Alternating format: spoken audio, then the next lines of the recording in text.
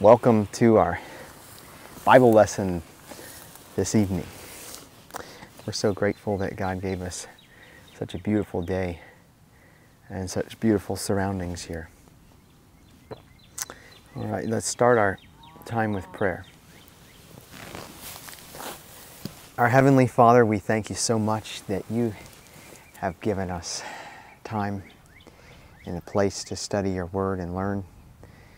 We ask that you would send the Holy Spirit.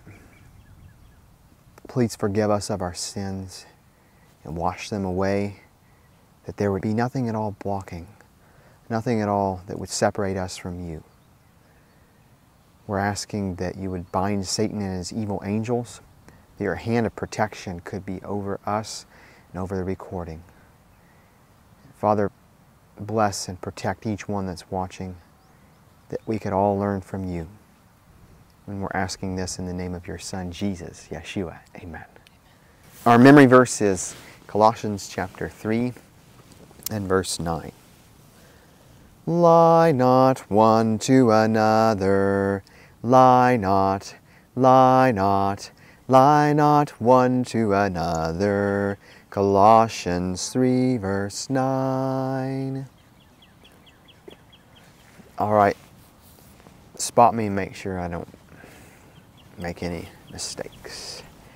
Lie not one to another, seeing that ye have put off the old man with his deeds. Colossians chapter 3 and verse 9. You want to try it now? Lie not one to another, seeing that ye have put off the old man with his deeds. Colossians 3, verse 9. A plus.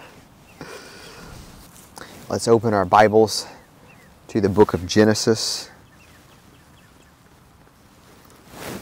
chapter 27, and verses 1 through 4.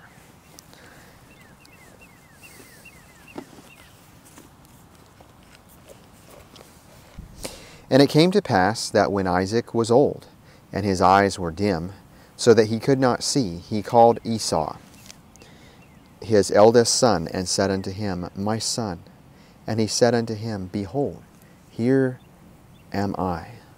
And he said, Behold, now I am old, and I know not the day of my death. Now therefore take thee thy weapons, thy quiver, and thy bow, and go out to the field, and take me some venison, and make me savory meat, such as I love, and bring it to me, that I may eat, that my soul may bless thee before I die.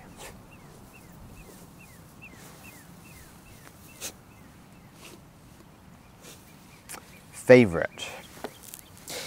Esau was Isaac's favorite son. Isaac was blind, blind to God's will about the birthright and growing older. He thought he might die soon, and as a result, he thought it was time to give the birthright blessing. Usually, a feast was made. Isaac decided to perform the solemn ceremony in secret because Rebekah and Jacob did not want Esau to receive the birthright. Esau was called and asked, Now therefore take, I pray thee, thy weapons, thy quiver, and thy bow, and go out to the field, and make me some venison, and make me savory meat, such as I love, and bring it to me, that I may eat, and that my soul may bless thee before I die. Genesis chapter 27, verses 3 through 4. Okay, we have a few review questions. Why did Isaac think it was time to give the birthright? Because he was getting old, he thought he might die soon, and he was having trouble seeing. Who did Isaac call? Esau. Who was against the giving of the birthright to Esau? Rebecca and Jacob. Mm-hmm.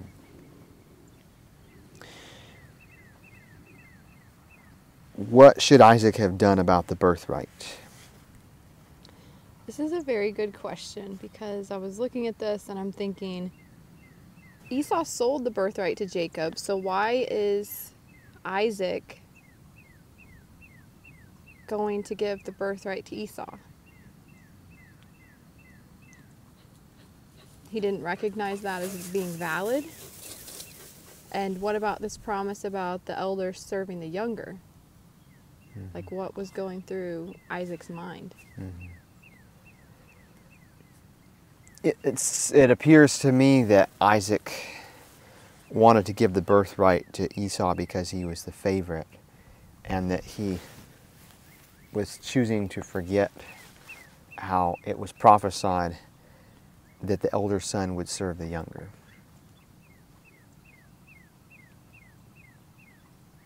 And sometimes we make the same mistakes. We make the same mistake. We, we may know what God's will is, but we have our own plan.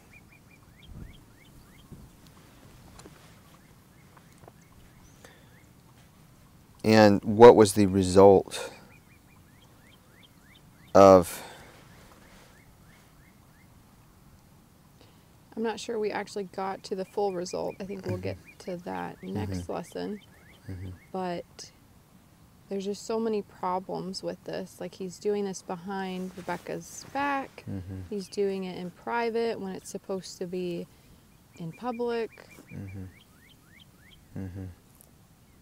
Yes, uh, it was supposed to be a great celebration and a family event or public event, and obviously, since Rebecca and Jacob would not be in favor of it, then they did it in secret.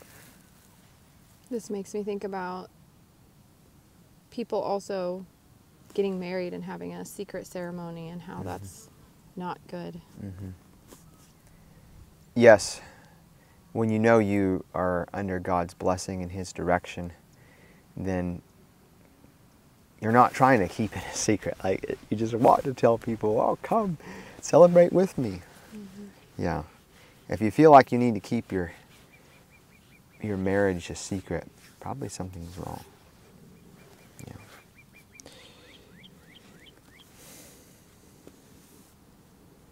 Now it's time for our nature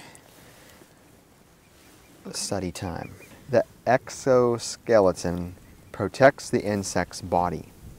The muscles are attached to the inside wall of the exoskeleton. The exoskeleton is like God's law, and the muscles are like our will, which we exercise in obedience to God's law. There are several hundreds to thousands of muscles, and they are very strong. The many muscles are like so many choices that we make to do the right, and we become stronger in our character through the right exercise of our will. Grasshoppers have about 900 muscles. Caterpillars have 2,000 to 4,000 muscles. Humans have less than 700 muscles. Some insects can lift, carry, or pull an object 20 times heavier than themselves. Can you imagine? Wow. The Bible says in Philippians chapter 4 and verse 13, I can do all things through Christ who strengthens me. Strength to do God's will is more important than being strong to lift an object. Truthfulness is a good, strong character trait. As you work together as a family, be sure your actions are not telling a lie. For example, if a father asks his son or his daughter to clean up a mess, and the child smiles, making the father think that he or she did the job when they did not. That's not good. Let's be truthful. Our words and actions, it is so important to be truthful. We need a clear conscience. A clear conscience is more important than all the money you can make. It's more important than all the positions that you could achieve. Clear conscience is more important than anything else. Can you sleep well at night? Are you at peace and rest, knowing that you have nothing to hide? That what you're doing is right, is honorable. So, this also makes me think of sometimes people call something a white lie, which is a lie, but they claim that it's not that bad. And then um, also, my children have not been exposed to modern TV until they started going with their father. And so, one of my children has recently started doing this thing where she will lie and then she'll wink or she'll um, cross her fingers. And so it just made me think of those two things that it's not okay to lie and wink about it or to cross your fingers as if it's negating the lie. And it's not okay to do white lies either. And so that's a habit that I'm working on trying to break with her. But apparently, that's something that's common in the world. Yeah. There is no such thing as a white lie.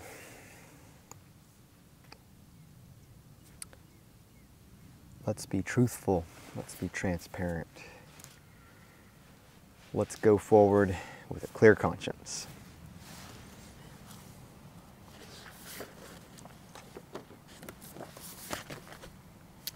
Esau passed the crisis in his life without knowing it. What he regarded as a matter worthy of scarcely a thought was the act which revealed the prevailing traits of his character. It showed his choice, showed his true estimate of that which was sacred and which should have been sacredly cherished. He sold his birthright for a small indulgence to meet his present wants, and this determined the after course of his life. To Esau, a morsel of meat was more than the service of his master. Take heed, parents, that you do not play favorites with your children. Guard against making children the complete focus of your life to the exclusion of a close, confiding union with your spouse.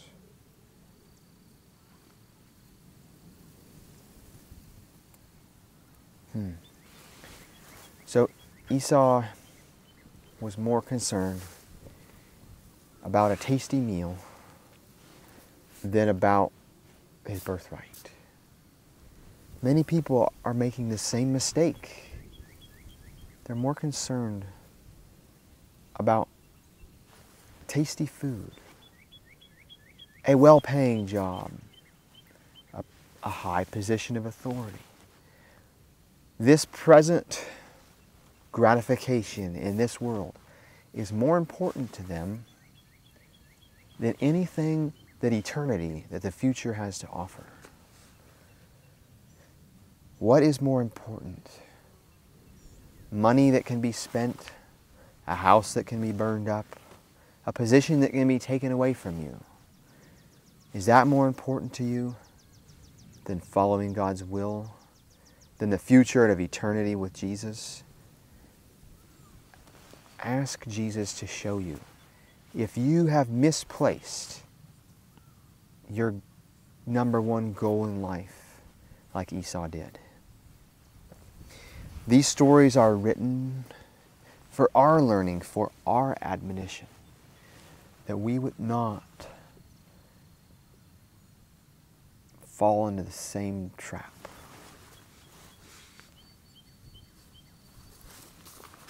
Also, Isaac was willing to put Esau above his wife Rebecca as well. Yes. And to do something secret behind her back. Yes. Yes, for those that are married, don't keep secrets from each other. You're, you're one. One in purpose, one in mind. You promise to work together, to stay together, to be together, and to try to hide things like that. How can you trust? How can you be fulfilled when one is hiding from another?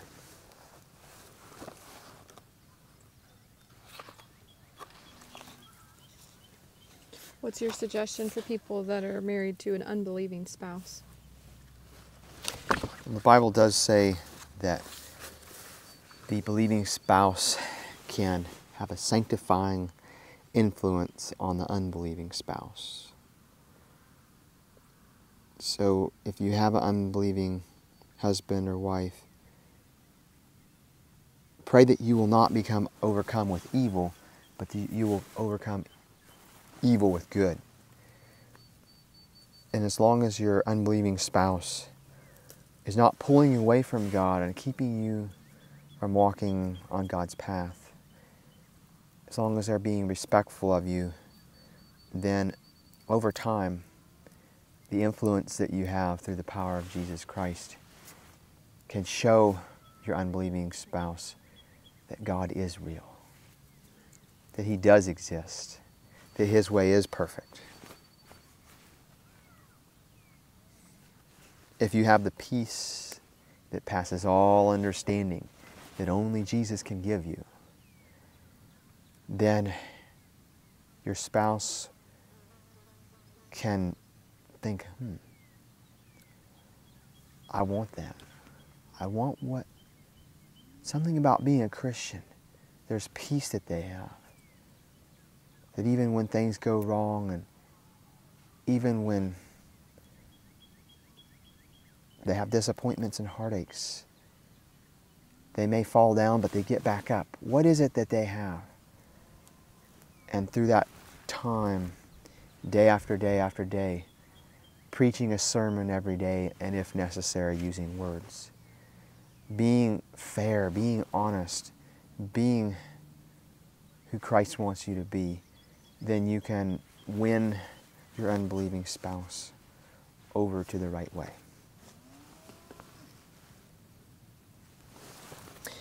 True charity. Ralph Bell lived in an old fashioned farmhouse. It had a roof high in the middle, sloping one side of it to the front, the other to the back.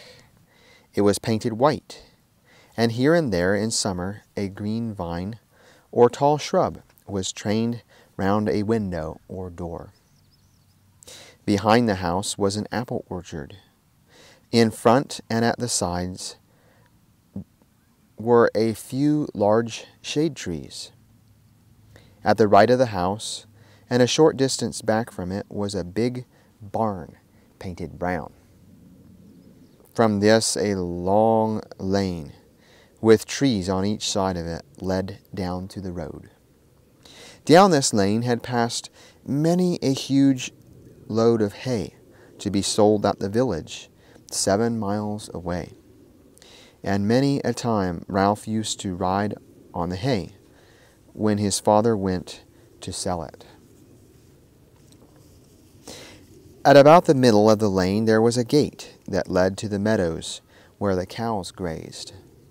And many a time Ralph, even when a very small boy, was seen driving them up the lane to be milked, and driving them back again.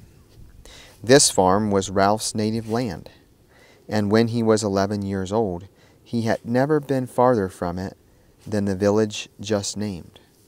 Yet he was a contented and happy child.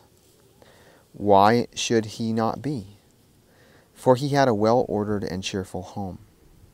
His parents were plain people, but not coarse. They were refined.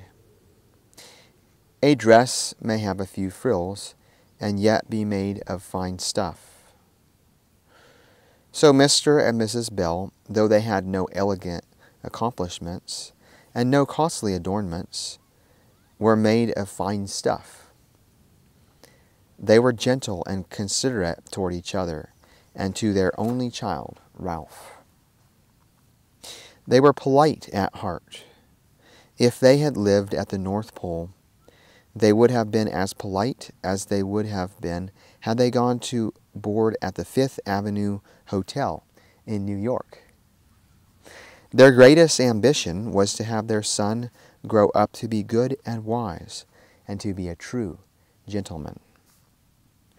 One autumn, late in November, when the loft in the barn was piled full of fodder for the animals, and the cellar of the house was well stored with vegetables and apples, and there was little more farm work to be done, Mr. Bell proposed to his wife a new plan. It was dinner time when they, with Ralph, were sitting at the table in the clean, cheery kitchen. The father said as he broke open a smoking hot baked potato, Mamma, I've been thinking that I will go to my old home in Connecticut to visit my dear father and mother once more and attend to some business that needs my care. You have worked hard all the season, and a rest and visit would do you good, answered Mrs. Bell. Ralph and I will stay here and take good care while you are gone. I wish I could take you both with me. I can't bear to leave you behind. Oh, do take us all, Papa, said Ralph. Who would take care of the folks that live in the stable, and of all your pets, the hens and the ducks? Besides, times are so hard that Papa can't afford money to take us on a journey this year, said the mother. There is something I would like to do while I am East, Mamma, but as it is a matter which so much concerns you, you shall have the veto power if you do not like my plan.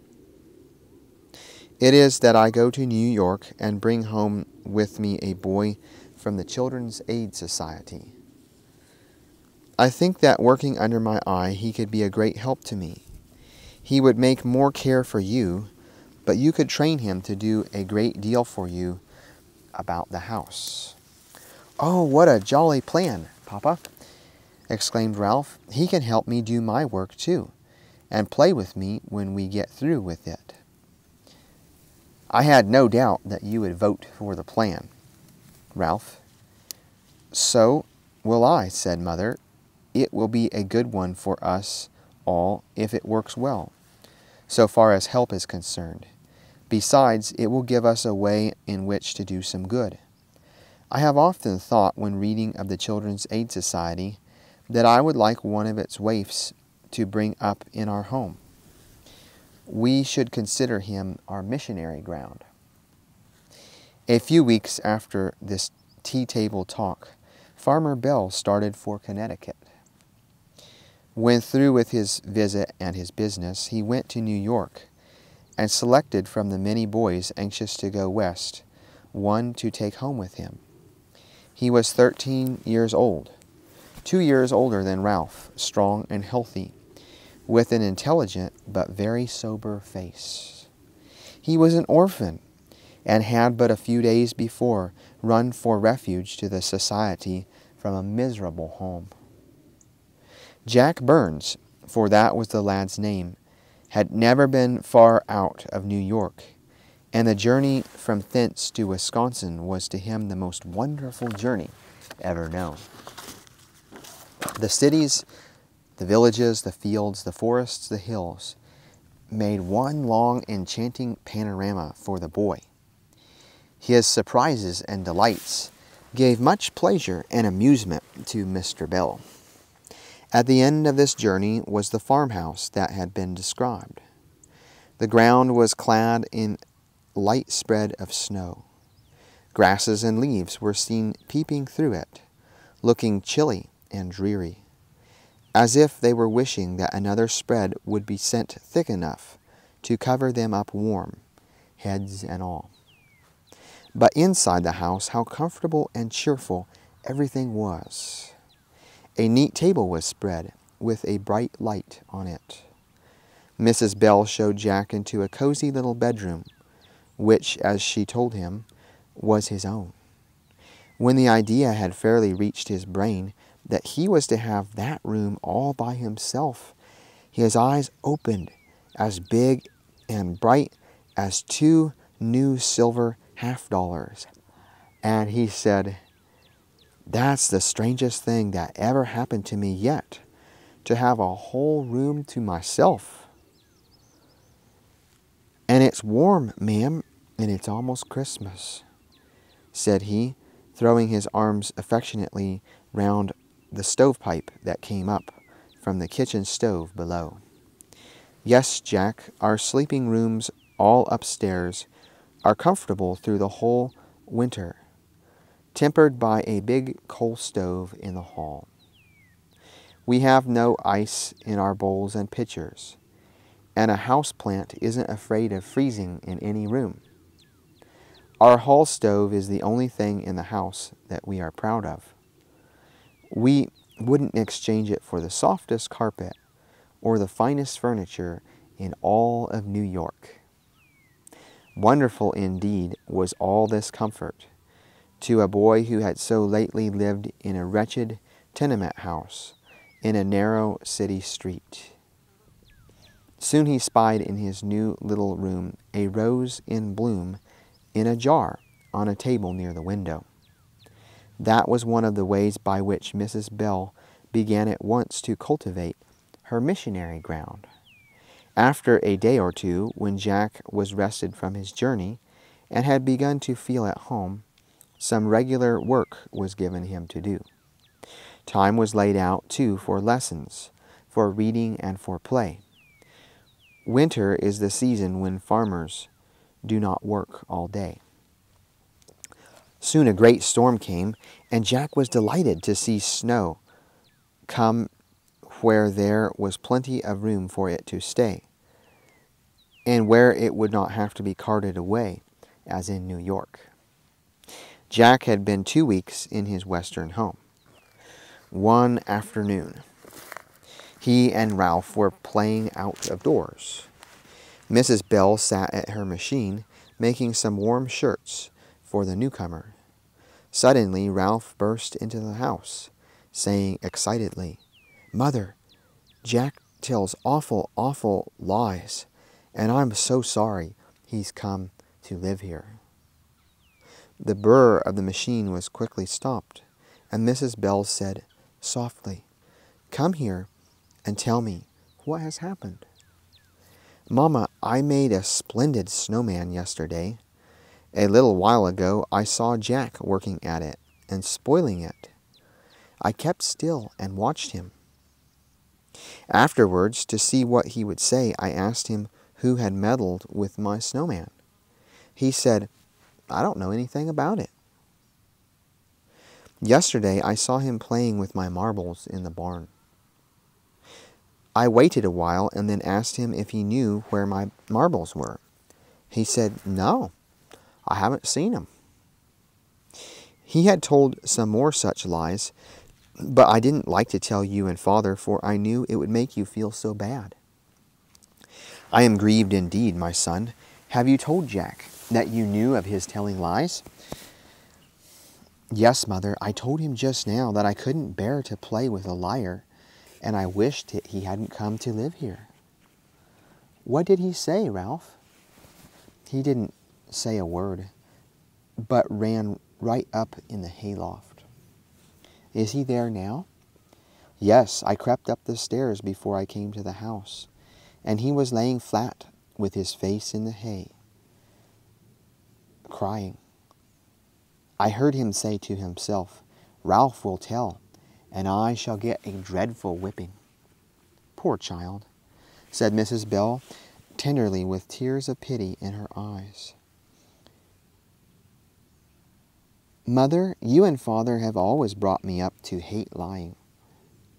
And how can I help it? I don't want you to help it, my child. I want you to hate lying with all your heart, but do not hate the liar. To do that is not to be like Christ. But, Mamma, aren't you sorry now that Jack has come to live with us? No, I am more glad than before, for I see how he needs us to help him to learn to be truthful. And do you really believe, Mama, that he can learn to be truthful? Ralph, you have been brought up all your life to speak the truth. What might you have been if you had been brought up to tell lies? Maybe I might have been a liar, but it does not seem if I would. You don't know, Ralph. Your life has no doubt been entirely different from Jack's. I have little doubt that he has, in various ways, been trained to tell lies. We will find out what his circumstances have been. Go to the barn and tell Jack that your mother wants him to come in the house and get warm. If he seems afraid to come, tell him that he will not be hurt by me or your papa. I can speak for papa, you know. Ralph ran to the barn and standing at the foot of the stairs, called cheerily, Jack, come down. Mother says come in the house and get warm. For a minute or two there was no sound. Presently Jack came to the head of the stairs and said gloomily, I suppose you've told, and I'm afraid. Jack, my mother says no one shall hurt you. But, Ralph, how does she know about your father since he has gone to the village? My mother always speaks the truth, and when she promises for Papa, he always keeps her word. That's very queer, Ralph. I never heard of such a thing in New York. Never mind. You aren't in New York. You're out west. And you live with folks that don't pound children to make 'em good. My father doesn't thrash his horses, let alone his boys. Come on, Jack, and don't be afraid. Jack, thus assured of his safety, came down the stairs and walked up through the path in the snow, his hands in his pockets and his cap drawn down low over his face. Ralph led the way, whistling to cheer the boy behind him. They entered the house and hung up their caps, according to the rule. When Mrs. Bell saw the tear stained face and the dusty clothes, she said kindly, Jack, go up to your room, wash your face and hands, and brush your hair and clothes. The boy obeyed it was one of the wonders of his new room, that washstand in his room, with its white bowl and pitcher and soap, its hairbrush and comb, toothbrush and clothes broom, the rack beside it furnished all with two towels, a soft white one for the face, and a large brown one for bathing. It was required that all these things should be used. Mrs. Bell was right in thinking that apparatus very necessary to the cultivation of her missionary ground. Jack lingered in his room. After a while, he came downstairs and seated himself near the stove. Presently, Mrs. Bell said, I am doing basting work now, and that doesn't make any noise, so we can talk. Jack, we can hear you tell us about your life in New York. Mr. Bell learned little more from the society than this that you are an orphan and have fared sadly in the world. This was very gently spoken by Mrs. Bell. She continued, Do you remember your parents, my boy? No, ma'am. No more'n if I never had had any. It's just the same almost as if I never had had any. Only I keep always thinking about them and wondering how they look. After they were dead, I was taken by my aunt to live with her. When I was old enough, she used to tell me that my father and mother were good and that they loved me.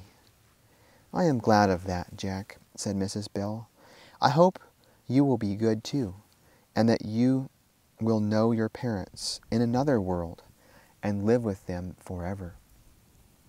As the loving mother spoke these words, her eyes were full of tears. Jack looked at her with astonishment. Why do you look so surprised? asked Mrs. Bell. Because, ma'am, I never saw anybody cry for me before. Did you not live long with your kind aunt? No, ma'am, she died when I was a little fellow. It was all the good time I ever had when I lived with her. After she was dead, I kept on staying with my uncle. He was a rough man and used to drink hard. He got another wife, and she was very bad to me. Then my uncle got to be a great deal worse. All the time I was afraid of them both. We got poorer every day. I was sent out to sell nuts, candy, and sometimes to beg. If I didn't get much money or much to eat, I was afraid to go home, for I used to get dreadful whippings very often when I brought home only a little. Sometimes I made up a lie and told that I had got a good deal and that big boys had set on me and robbed me. Sometimes when I got a good deal of money, I carried part of it to my uncle. The rest I hid to keep for the next day when I might not get as much. Did you ever have any time to play? asked Ralph. Hardly ever. I was scolded or whipped if I was caught playing with boys in the street. Didn't you know, Jack, that it is wrong to tell lies? asked Mrs. Bell. Yes, ma'am, I knew it was, but I didn't think much about that. The most I thought of was that I was poor, and all the time so afraid.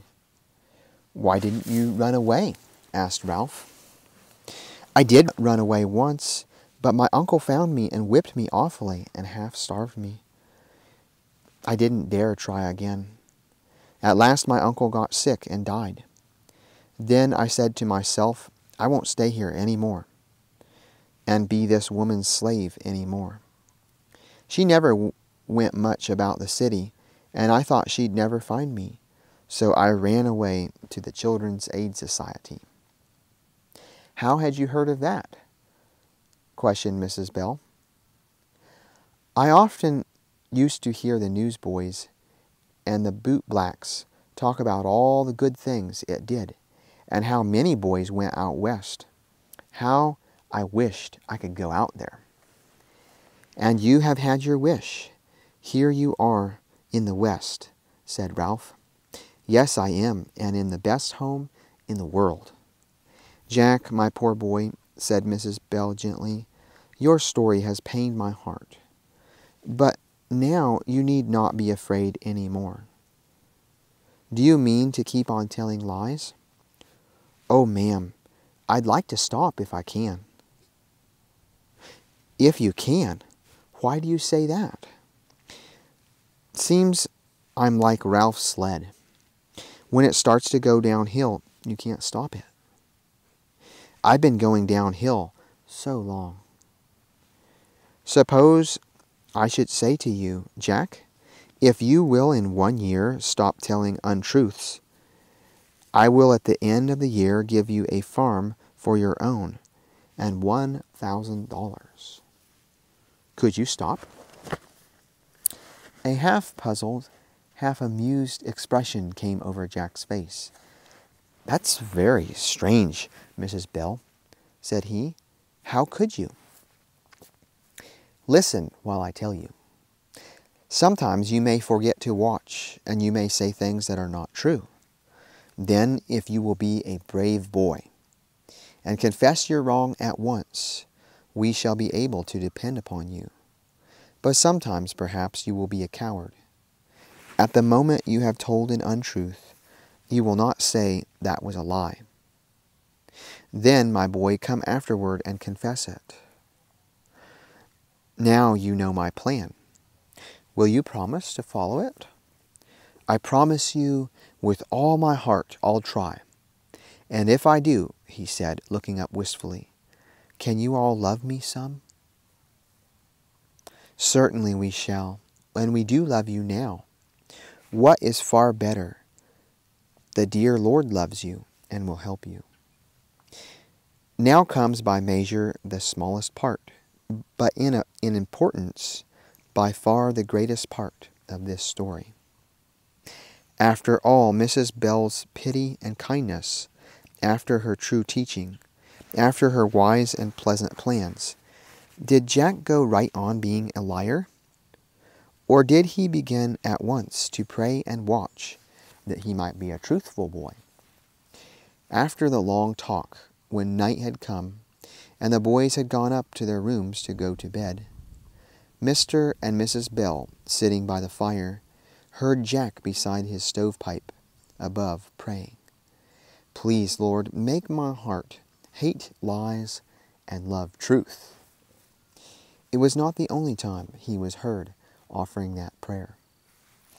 It was two or three days after that. A violent snowstorm was raging. At about dark of the short winter after he was heard in the entry, using the broom vigorously. Presently he came into the kitchen, sat down, and took off his boots. It was a rule of the house that the noisy boots should come off when all the work was done that needed them, and slippers be put on. A pleasant rule it was, particularly to Jack, who thought it something wonderful to wear and to own a pair of slippers. As he was stooping down that evening to put them on, Mr. Bell asked if he had watered the cows. After an instant's pause, he answered briskly, Yes, sir. He sat down by the stove to get warm. Presently he covered his face with his hands and exclaimed in a hurried, distressed tone, I told a lie. I didn't water the cows. Before anyone had time to speak, he rushed into the entry, put on his boots, and dashed through the snow to the barn. Returning to the house, he went directly upstairs to his room.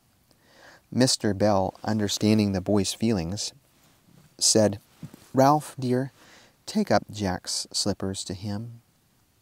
And said Mrs. Bell, Stay with him till I ring the bell for supper. The door at the foot of the stairs was open, and Jack was heard saying, I can't go downstairs tonight. I'm so ashamed. But you kept the promise you made to mother and told the truth quick, said Ralph. How was it about the cows? I forgot to water them, and when your father asked me about them, I was afraid to own it. In an instant, oh, how I wished I had. But, Jack, you know you needn't be afraid. I know that, but I'm so used to being afraid, I can't stop right off. That's so, and I'm awful sorry for you, but you'll stop pretty soon. Three weeks more of the winter had gone. There was a fine skating on a pond near the farmhouse. Ralph and the two neighbor boys were going one afternoon to enjoy it and Jack, the delighted owner of his first pair of skates, was to go with them. He was hurrying to get through with his work at the barn, being a little behind Ralph, who had finished his. There was but one small job to be done. When seeing the boys so eager to start, he said to himself, I will do this when I get home. As he ran into the house to get his skates, Mrs. Bell asked, have you finished your work, Jack? Yes, ma'am, he said, and ran as fast as he could to join the boys. Going down the lane. Soon all were skimming over the ice. They were a happy party, all save one. And he was as miserable as the others were merry. It was Jack. He felt too heavy to skate, for he carried a lie in his heart. As soon as he reached home, he hastened to do the work he had left undone. But that took nothing from the weight of the lie. He knew that his unfaithfulness had not been found out. For Mr. Bell was still at the village, to which he had gone in the morning, and Mrs. Bell never visited the barn in the winter.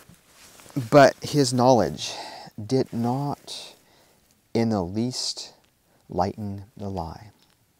Not until in the gray of the lengthening evening twilight, the poor boy knelt beside his bed and asked the pitying Lord to forgive and help him, and not until sitting together in his little room, he had told all to Mrs. Bell, did he feel his burden gone. This was not the last time that Jack forgot to watch and pray, and so entered into temptation and fell. Other proofs might be given, but we cannot tell them now. Jack kept his promise always to confess when he had been guilty of an untruth. As the weeks and months passed on, farther and farther apart, these confessions came. By the help of God and by his own efforts, more and more his word was believed. His first yea and his first nay.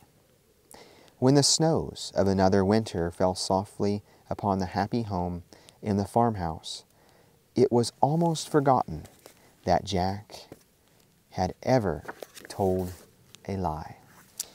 Your future lies before you like a track of whitened snow. Be careful how you tread it, for every track will show. Let's pray. Our Heavenly Father, thank you so much that there is forgiveness for all the lies that we've told in the past. Thank you that there is strength to tell the truth as we live today and in the future. Father, we thank you that Jesus walks with us, that He cares for us, that He has an interest and a concern in us, and that as we walk with you, as we become secure in you, then we are able to have courage to tell the truth. Bless each one of us that's here, those that are watching later. Bless us that we could be a blessing. We ask all of this in the name of your Son, Jesus, Yeshua. Amen.